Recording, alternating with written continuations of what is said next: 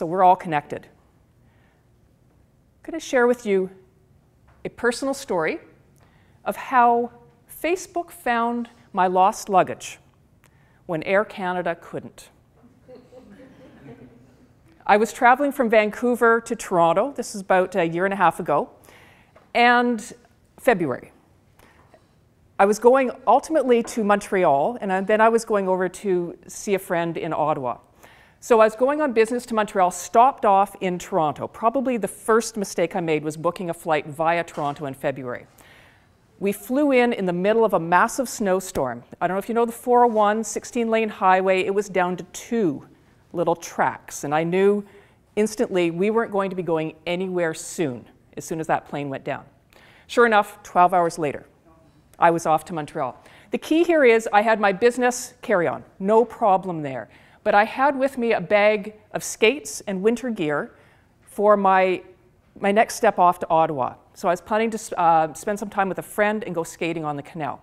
That bag was missing in action. So here's the flight board. You can see there's a lot of canceled flights. That plane was not going anywhere anytime soon.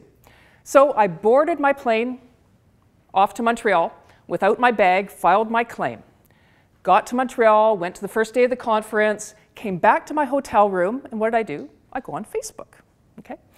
So on Facebook, there is a big discussion that has broken out amongst my friends.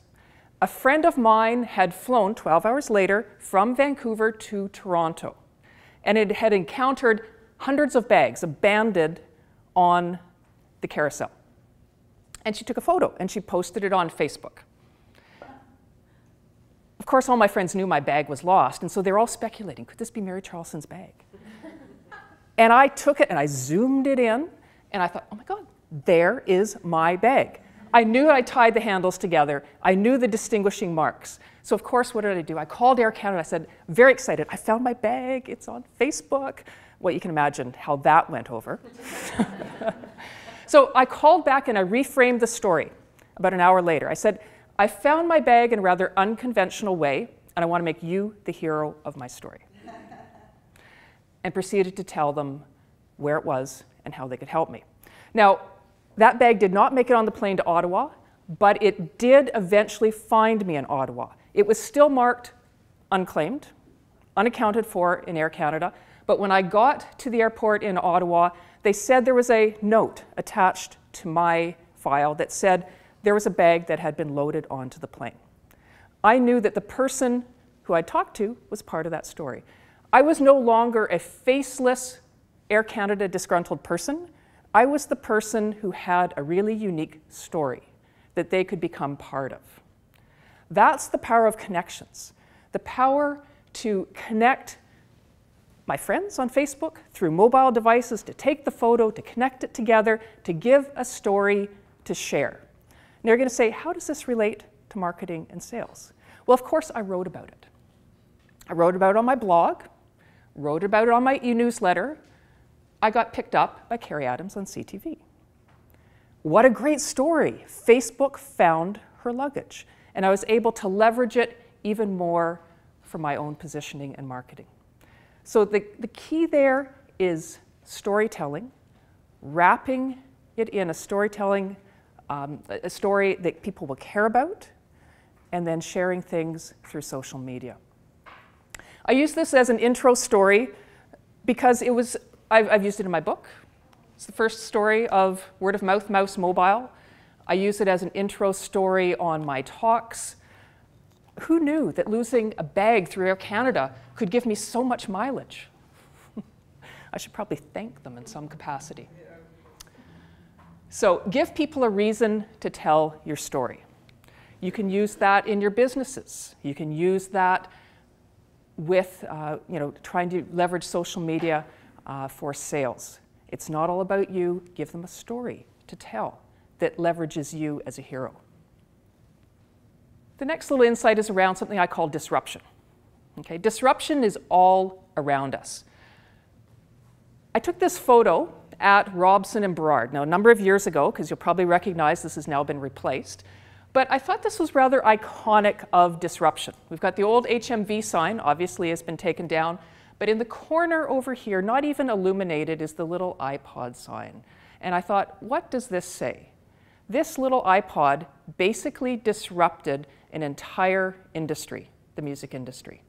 It was a symbol of disruption. HMV got caught, not monitoring what was happening, not being able to respond in a timely manner.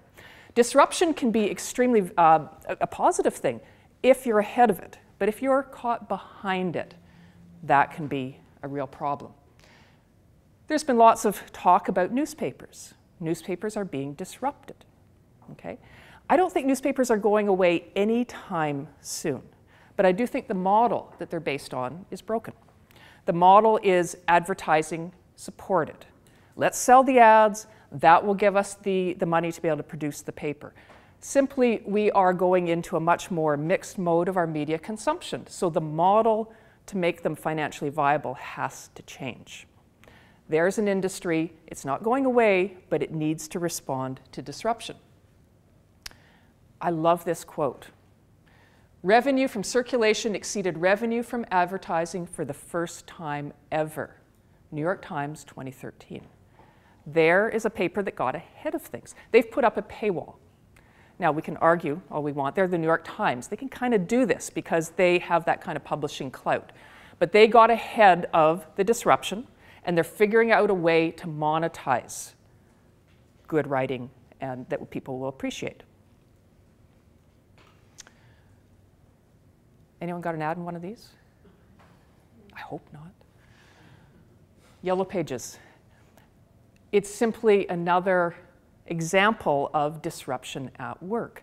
Now, yes, Yellow Pages can still be valuable for certain target segments, but very quickly that is becoming less and less. Simply Google for search, Yelp for rating have replaced this. And as we go into being more and more a mobile device society, that will become even more so. So disruption. These are some examples that they didn't get ahead of it. But here's an example of a company that did get ahead of it. This is Tesco. Tesco is a grocery store in South Korea. Okay? They were solidly second in their category. What they did is they took photos of shelves, shelves of food, and they put them on the side of a subway terminal. They made it so you could scan with a QR code, check out the food, check out the prices, and then you could have it ordered, you could order it, and you could have it delivered to your home that night. Now, in South Korea, this works. They're very, very heavily wired society. Close enough together, they could arrange you know, all the delivery. But there's a company that said, let's, let's disrupt everything. If you think about it, we don't have to stock the shelves. We don't have to pay people to stock the shelves. No food is going bad. Promotion, they got so much publicity and promotion around this, uh, written up and um, on, uh, in the news, they hardly had to, to buy any kind of promotion. The pricing model, completely different. It's all gone electronic. You're just scanning and, and, and cashing out on your mobile device. Here's another great example. I love this. For the Olsen Hotel in Melbourne, on the off chance, has anyone been there? I'll take Melbourne first, then I'll take Molson. Olsen, I should say. Okay, Melbourne. So the Olsen Hotel is a really interesting hotel. Uh, it's kind of in the artsy district, Melbourne, and they decided to challenge a, a convention in their industry. Traditional checkout is what, 11? Okay, check in is 3. So in between 11 and 3, they're cleaning your room, they're doing that kind of thing. So they said, well, what if we just let people stay? If there's no one coming in behind them, why don't we let them stay? So what they've got is you call down in the morning and you say, is anyone checking in? And they say no. And you go, great, I can stay for free. Absolutely free. They're giving away nights. Now, they call it the world's best overstay policy. They've got a great video on their website of how this guy kind of morphs along and his hair gets longer and how he's lounging about. The reality is, is that most people don't have the ability to stay maybe more than one night. So it's not going to get abused. And it is a popular hotel. But by giving away one night, think about what they're doing from a promotions and sales standpoint. Number one, they didn't have to clean the room, so the staff don't have to, you know, you don't have that expense. But more importantly, they're enabling people to talk about them in a positive way. They put up a Facebook page. They say, the question, what did you do with your extra night in Melbourne? Phenomenal. People are talking, they're posting photos, they're bragging about it. The amount of money that this costs them to give away a night is peanuts compared to the free publicity and the goodwill that they gain around this. Okay, there's a company that got ahead of their industry. They disrupted things. They said, why do you have to check out? What if we changed one of the models around what we offer? Okay, great sales technique. It's about storytelling. It's about getting people to talk about your brand in a positive way. Anyone heard of Dollar Shave Club? Okay, few. If you haven't, who hasn't heard of Dollar Shave? Okay, so good. All right, so there'll be a few people this is new to. So Dollar Shave Club was launched, I guess it's now about 18 months ago, uh, out, of, out of kind of the, the Silicon Valley, a lot of um, kind of investors that kind of started this up uh, down there. The whole premise is let's take a category that has not been shaken up, frankly, in decades. Let's sell razors online. You can get a whole month's supply for a dollar. Now, I'm not going to say how good those razors are. You want to go for the deluxe, it'll be nine bucks. It's still cheap. You go online, you order your razors. You're all going, well, okay, this is like, what's so special about this? It's that they've disrupted the distribution, they've disrupted the pricing, they've disrupted the promotion. I'm going to play for you a video of how they promote this offering on their website. Hi, I'm Mike, founder of DollarShaveClub.com. What is DollarShaveClub.com? Well, for a dollar a month, we send high quality razors right to your door. Yeah, a dollar. Are the blades any good? No. Our blades are great. Each razor has stainless steel blades, an aloe vera lubricating strip, and a pivot head. It's so gentle a toddler could use it. And do you like spending $20 a month on brand name razors? 19 go to Roger Federer. I'm good at tennis. And do you think your razor needs a vibrating handle, a flashlight, a back scratcher, and 10 blades? Your handsome ass grandfather had one blade and polio. Looking good, pop up.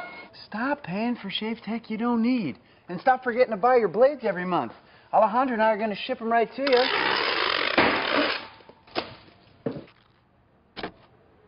We're not just selling razors, we're also making new jobs. Alejandro, what were you doing last month? Not working. What are you doing now? Working. I'm no Vanderbilt, but this train makes hay. So stop forgetting to buy your blades every month and start deciding where you're going to stack all those dollar bills I'm saving you. We are DollarShaveClub.com, and the party is on.